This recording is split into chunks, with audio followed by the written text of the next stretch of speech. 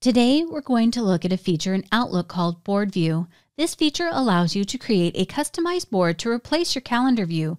Rather than bouncing from one screen to another, you can keep your calendar, files, notes, and more all in one view. To get started, go to Outlook and select the calendar icon in the menu on the left-hand side of the screen.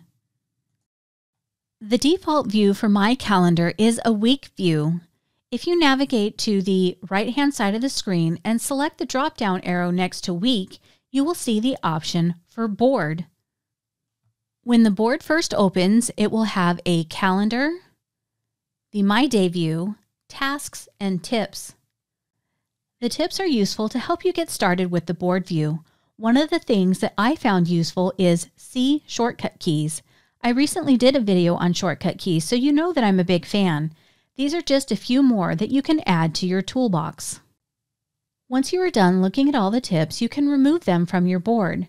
Click on the three dots and select Remove from Board. Now, the board view is very similar to Whiteboard and Teams in the fact that you can hold your mouse down and pan around on the board to make it as large or small as you need it to be.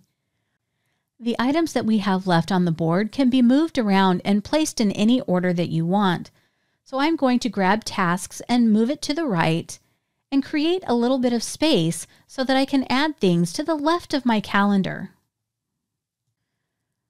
If you go to the toolbar at the top of the screen, you can click the drop down next to Add to Board and add additional items to your board. Click on Show All to see all of the options. The first thing that I would do is add a clock to my board because I work with people in multiple time zones.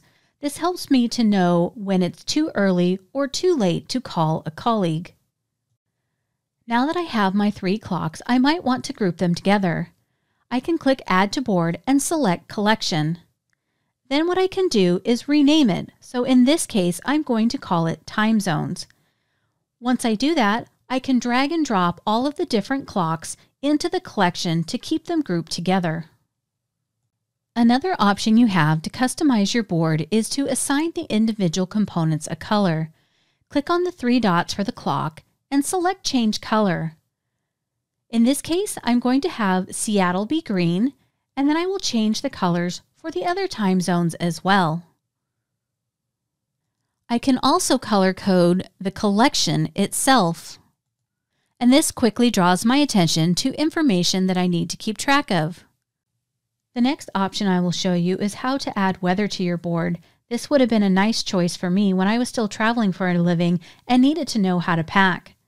All you have to do is enter the zip code for the location that you want weather, click enter, and you'll see the forecast on your board. Another useful option is to add goals to your board. Now you can use these to keep track of specific tasks and assign due dates, or they can just be generic goals that you want to add to your calendar.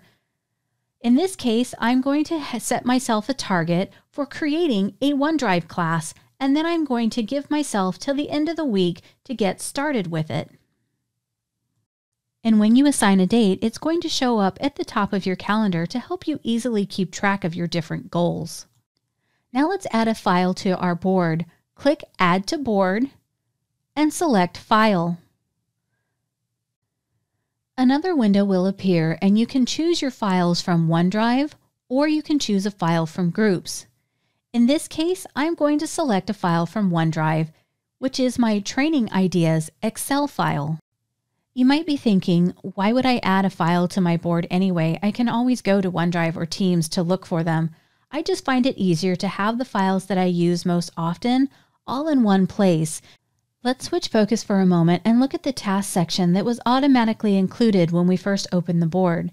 You can click on the Add a Task section and add one directly to your board. If you're already using To Do, those tasks will automatically appear here in the Task section as well. The calendar that you see on the board view works the same way as it would if you were interacting with it in a traditional view. You can click on New Event to add an item to your calendar, or you can just select the time that you want and the details pane will appear. Then you will fill out the meeting invite like you normally would. And I'll still have access to all of the features that I like to use, such as categorizing my meetings by color code. Once you have everything set up the way you want, you have the option to lock your board. This prevents the board from moving or from zooming in and out. So when I click on lock the board, I can still scroll within the calendar itself, but I can't select the calendar and move it to another place on the board. To do that, I would need to go back to unlock the board. As with many of the features that I demonstrate, there's not a wrong or right answer, it's just a matter of personal preference. I personally keep my board unlocked because I have a lot of things on it and I like to be able to move around. Now let's take a look at board settings and rename the board. Instead of it being called default, I want to call it Heather's board. And the reason I want to do that is because you can have more than one board view. On the left-hand side of the screen, click the drop-down for board and then select New Board. I will give the board a name such as Training Team and then I will click on Create.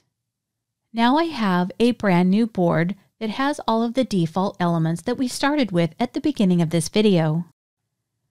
By default, this new board is going to track my personal calendar, but what I really want is to track the training team calendar, so I will select that and deselect my calendar. And now I have a second board view that shows just the events that are applicable to the training team. If I want to get back to my personal calendar, I will select the drop down arrow next to Training Team, go to the arrow next to Board, and put a check mark next to Heather's board. And I'm back at the original view that we have customized. I hope you found this video useful, and if you did, please give it a like. Thank you for watching, and I'll see you in the next video.